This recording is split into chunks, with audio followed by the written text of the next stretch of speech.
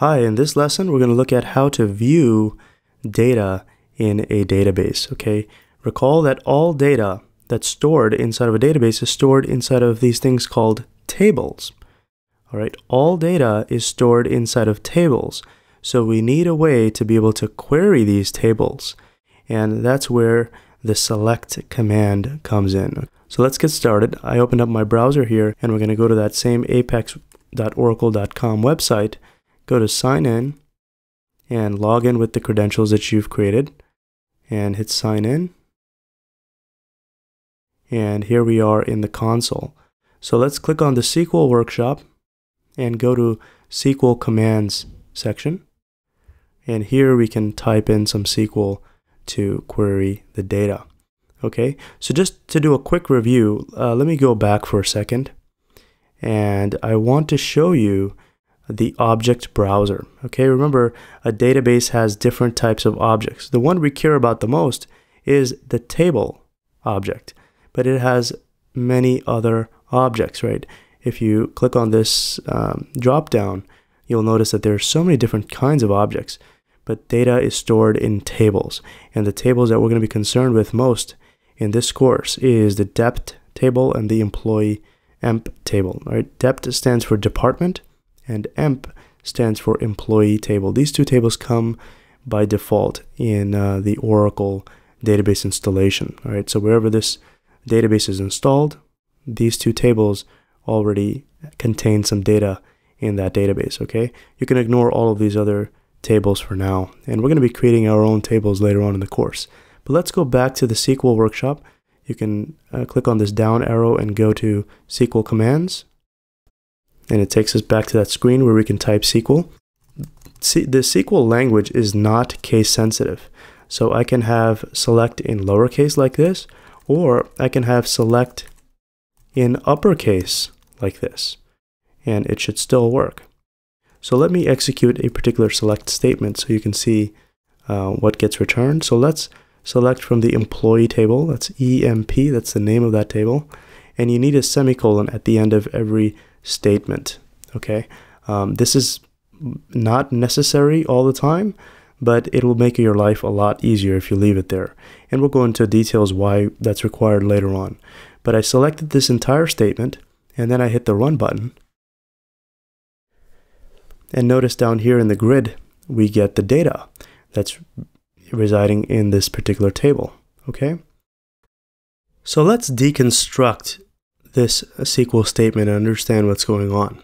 First of all, this entire thing, all of these commands together, is considered a statement, okay, a SQL statement, and it's made up of uh, keywords. Uh, the first keyword here is the select keyword, okay? This is a reserved keyword in the SQL language, something you'll have to memorize, you'll have to know. So if someone asks you to uh, retrieve data from a table, right? To look at the data from the table, you'll have to use this select keyword. And uh, you can't just use it without any other details. Like if I just get rid of everything else and just have this select and I hit run, this is not a valid SQL statement. It's saying missing expression. As a matter of fact, it's missing a lot of expressions, okay? Uh, what we need is we need to give the, a select statement at a minimum the select keyword requires um, a particular column, right? So some, I'm just gonna um, put some pseudocode here, uh, some column, all right? And the next command this needs is the from keyword, okay? So we have the select keyword, we give it a particular column or multiple columns as you'll see in a second. And then we need the from. In other words, you know, where are we getting the data from? And that's going to be the table. So in our example, we have the emp table, but I'm just going to um, comment that as, uh, you know, just table, just so it's readable. So we give the select keyword the columns that are needed to, to be queried, and then uh, the from keyword gets the particular table, or you, as you'll see later on in the course, we can select from multiple tables right? So at a minimum, this is what's required. If I want to select, for example, the job column from a particular table, let's say the emp table, select that and hit run, and notice that this is a perfectly valid SQL statement, right? The job column is the only thing that was retrieved. Now I just want to add one more thing regarding this SQL statement. This is actually a particular kind of SQL statement. To be more specific, this is referred to as a query, all right? We are asking the database for some information. We're not changing the data, we're not adding data, we're not modifying the database in any way. We're just asking the da- asking the database, "Hey, give us this information that we are looking for." And that's essentially what a query is. Um, and the select statement, the select keyword here, is the main thing that makes this SQL statement into a query. All right, so just some jargon to keep in mind. Now I can select other columns, not just one. So instead of job, I can have also ename, all right, and select the whole thing and run. And as long as ename is in this table, it's going to execute and give us the data, all right? So here uh, we have the ename column also appear when we execute this statement. Now let's say you want to select all of the columns in the table. You don't want to specify every single column here in the list. That could be pretty tedious.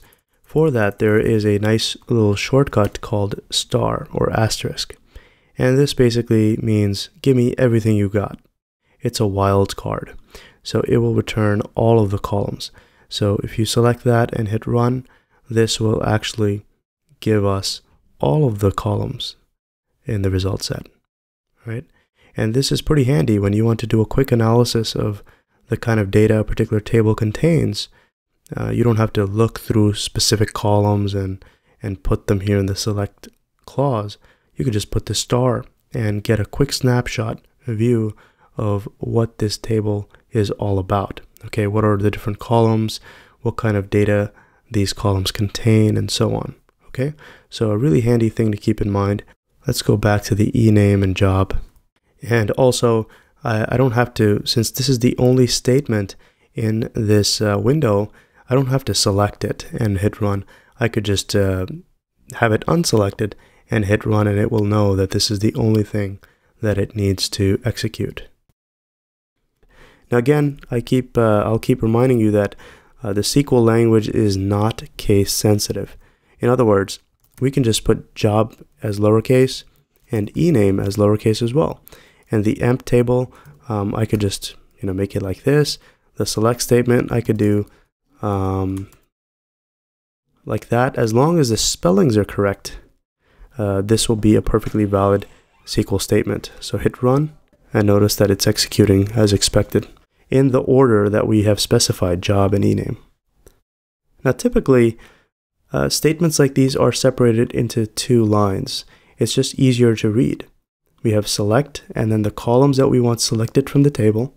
And then we have this from statement on the next line and uh, the table that we are wanting to select from. We can have multiple statements. We can have um, select job from.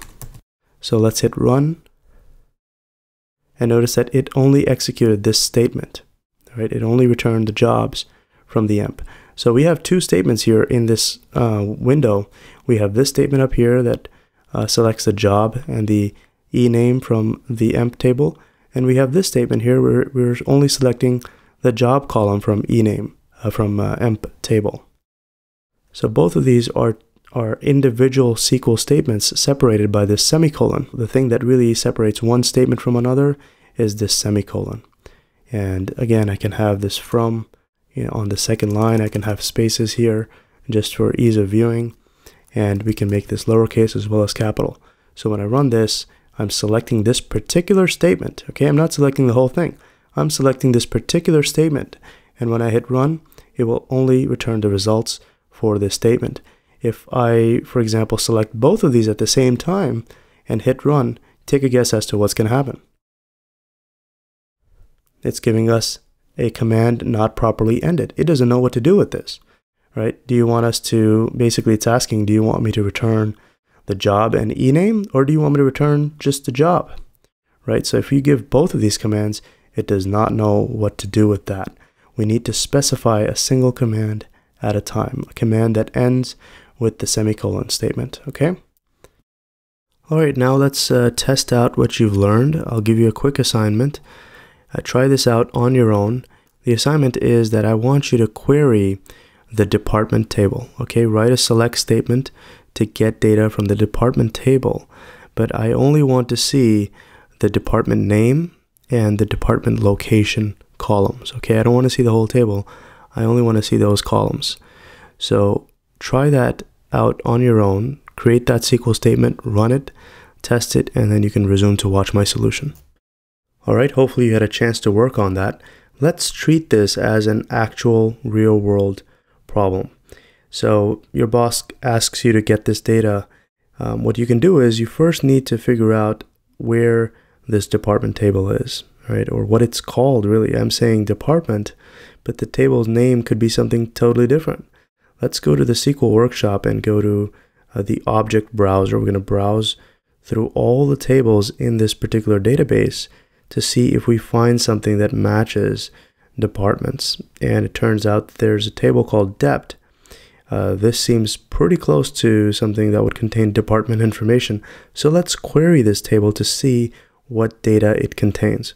Let's go back to the SQL commands uh, area and we can just uh, query, do a simple select statement. Select, like I said, select star earlier that returns all of the columns in the table. So I can do select star from DEPT and highlight the whole thing and hit run and we should get the entire table. The problem was we only need to retrieve the department name and the department location.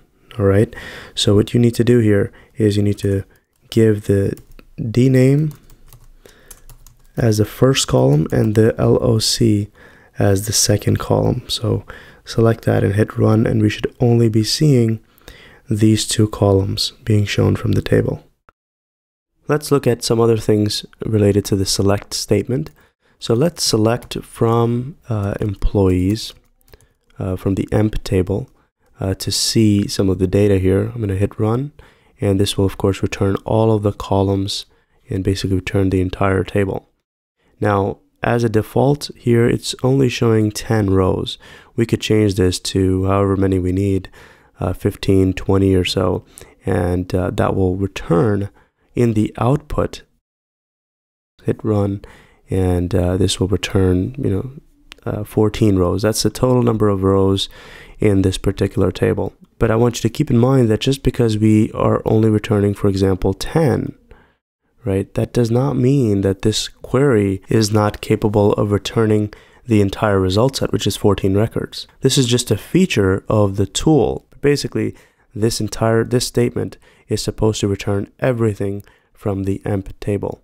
The only thing that's limiting the number of rows being shown here is this uh, drop down uh, which we can we can change okay? So this is just sort of a visual uh, aesthetic that this application provides just so that we're not uh, bombarded with you know bazillions of records. They just want us to uh, quickly see the data in an easy fashion. Um, and that's what these that's why it's limiting just 10 rows all right? Now let's select just the job column and we're going to go into one aspect of of the select statement. So I'm selecting job from emp. Let's hit the run button and this will only return us the data in the job column. All right. All 14 rows of the table are being returned because I've I've set the maximum rows uh, to be 15 and this table only contains 14 rows. So it's returning the job column data, all 14 of those rows. And uh, notice that we have some uh, duplicates here. We have the president and then manager is being repeated a couple of times. Salesman is being repeated a couple of times. Clerk is being repeated a couple of times. The reason for this is because, well, we have uh, different people, right? Different types of em different employees, and they have different job titles, right? Blake is also a manager. Clark is also a manager. Jones is also a manager, right? And Ward and Allen and Martin, these are these are all salesmen, right? We have multiple clerks. But let's say if I only wanted to see uh, the distinct, right, the unique jobs in our company, I could just do this. I could do distinct. This is a special keyword in SQL, uh, the distinct keyword. I could do distinct and then type job. And this will only give me the unique values in the job column. All right, so hit run. And first of all, it's only going to return one column because I'm specifically stating job. And then I'm also asking the distinct, right? Select distinct job. And it's going to return me the, the different jobs that are in our company. Now, very important to keep in mind that it did not return all of the 14 rows.